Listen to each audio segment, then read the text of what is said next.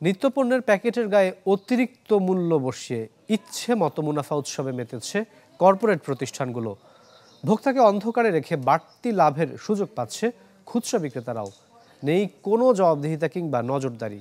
বিষয়টি জানতে পেরে চমকে গেলেন খোদ ভোক্তা অধিদপ্তরের নতুন মহাপরিচালক। আশ্বাস দিয়েছেন যে সঠিক পদক্ষেপ নেবেন তারা। রাকিব হোসেনের রিপোর্টার ছবি তুলেছেন শরীফ হোসেন।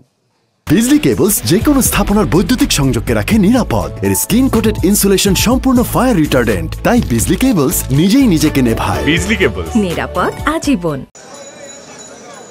পুরান ঢাকার মৌলভী বাজার এই বাজারের বেশ পুরনো ব্যবসা প্রতিষ্ঠান আব্দুল মতিন এন্টারপ্রাইজ এখানে দেখা গেল বিভিন্ন কোম্পানির দুই কেজি ওজনের আটার প্যাকেটের খুচরা মূল্য একশো ত্রিশ টাকা। কিন্তু দোকানে খুচরায় বিক্রি করছেন নব্বই থেকে একশো টাকায়। অর্থাৎ প্রতি প্যাকেটে বাড়তি লেখা চল্লিশ টাকা। একইভাবে দুই কেজির ময়দা ও এক কেজির পোলাও চালের প্যাকেটে ত্রিশ টাকা মোটা মসুর ডালে সাত টাকা এবং লবণের প্যাকেটে চার টাকা পর্যন্ত অতিরিক্ত লেখা। আমাদের মৌলভী বাজার হলো এটা কোয়ান্টেস প্রতিটি দোকানে আমাদের এখানে লাভ আমরা বেশি একটা করতে পারি না। হয়তো দুই তিন টাকা লাভ হলে আমরা মাল ছাইড়ে দিই। খোলা দরের প্রায় দ্বিগুণ লেখা প্যাকেটজাত হলুদ মরিচ ও জিরার গুঁড়ার দাম। যেখানে আধা কেজির প্যাকেটে আশি টাকা পর্যন্ত মুনাফা করার সুযোগ দেওয়া হচ্ছে খুচরা বিক্রেতাকে।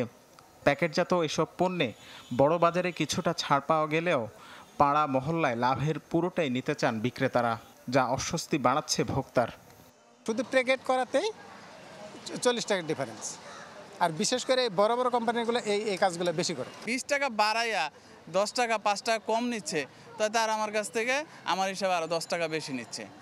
আমরা এটা চাই না। যেটা সূক্ষ্ম দাম ওটাই আমরা চাই। এটা আসলে যদি সরকার সুন্দরভাবে মনিটরিং করতো আসলে মনে হয় বাজার দর কমে আসতো। কোম্পানি নতুন করে রেট চেঞ্জ করে নাই তাদের আগের হিউজ পরিমাণ মাল আছে তারা এই রেটই এখন বিক্রি করতেছে। কোম্পানির যে লোক আছে এদের খরচ আছে না ওই হিসাবে তো আর অন্য খোলা বাজারে যেটা পাবে খোলা বাজারে যে তো আর এই কোয়ালিটি যে পাবেন খোলা বাজারে তো আর ওই কোয়ালিটি পাবেন না।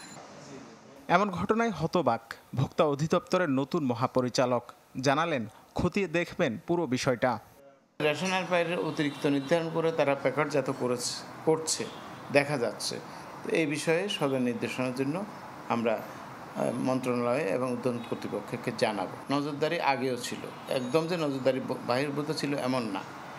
কিন্তু সেখানে ওই যে বললাম পলিটিক্যাল হস্তক্ষেপ ছিল এখন নাই।